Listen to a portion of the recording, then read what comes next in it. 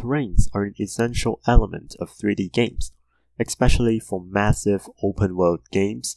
We can quickly design and build stunning environments and landscapes for players to explore. In this series, we're going to look at the terrain tools in Unity. I will summarize some of the tips and tricks when building terrains, and I will introduce some of the tools to make your development easier. There are multiple ways to design terrains.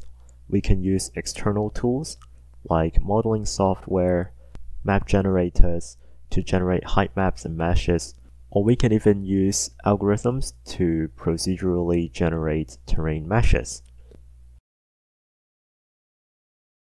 But in this course, we're only going to focus on building terrains using the built-in, free, and user-friendly utility provided by Unity. A terrain is basically a mesh.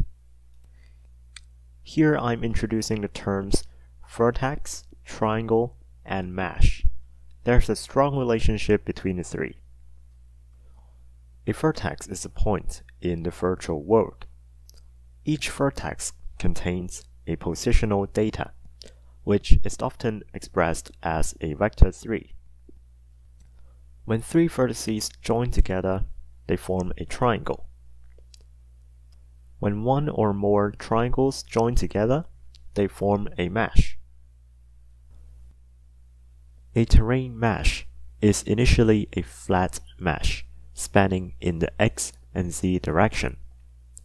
When we edit the terrain using the terrain tools, we are basically adjusting the heights of the vertices in the y direction.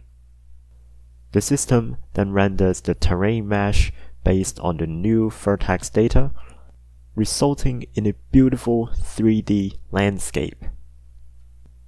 In Unity, when we use the built-in terrain tools to edit terrains, the data is saved as file assets.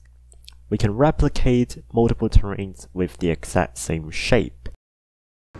That is an introduction to how terrain works and the terrain meshes. In the next video, we are going to set up the environment and to actually explore the different features provided in the terrain tools. I'm Yeahlowflicker and I will see you in the next video. Stay tuned.